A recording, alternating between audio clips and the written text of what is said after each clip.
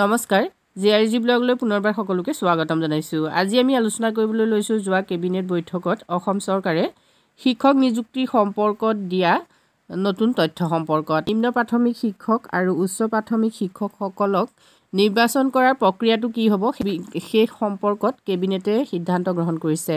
আৰু সেই সিদ্ধান্ত মৰ্মে কেনেকৈ চিলেকশ্যন কৰা হ'ব আপোনালোকে চাই লওক। নিম্ন প্ৰাথমিক শিক্ষক পদৰ বাবে মানে প্ৰথমৰ পৰা পঞ্চম শ্ৰেণী। উচ্চ উচ্চতৰ মাধ্যমিক বা সমতুল্য পৰীক্ষাত লাভ কৰা নম্বৰৰ শতাংশৰ পাঁচ শতাংশ। প্ৰাথমিক শিক্ষাৰ ডিপ্ল'মা মানে ডি এল এড বা প্ৰাথমিক শিক্ষাৰ স্নাতক মানে বি এড পৰীক্ষা বা শিক্ষাৰ ডিপ্ল'মা বিশেষ শিক্ষা পৰীক্ষাত লাভ কৰা নম্বৰৰ শতাংশৰ পাঁচ শতাংশ। প্ৰাথমিক বিদ্যালয়ৰ বাবে A T E T C T E টিত লাভ কৰা নম্বৰৰ শতাংশৰ পঁচাশী শতাংশ। তলত উল্লেখিত সমূহৰ বাবে পাঁচ নম্বৰ। সেইখিনি আপোনালোকে চাওক। এন চি চি প্ৰমাণপত্ৰ যদি থাকে চি প্ৰমাণপত্ৰৰ বাবে পাঁচ নম্বৰ লাভ কৰিব। বি প্ৰমাণপত্ৰৰ বাবে লাভ কৰিব তিনি নম্বৰ।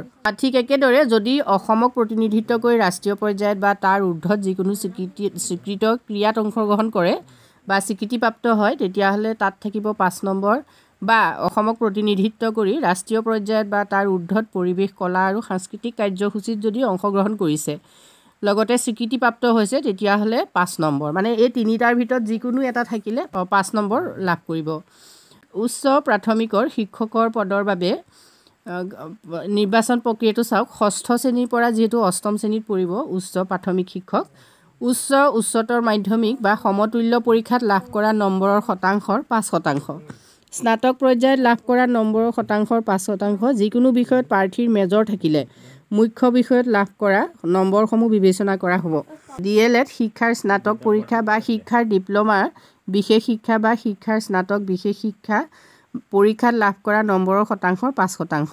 উচ্চ প্ৰাথমিক বিদ্যালয়ৰ বাবে এ টি ই টি বা চি টি ই টিত লাভ কৰা নম্বৰৰ শতাংশৰ আশী শতাংশ।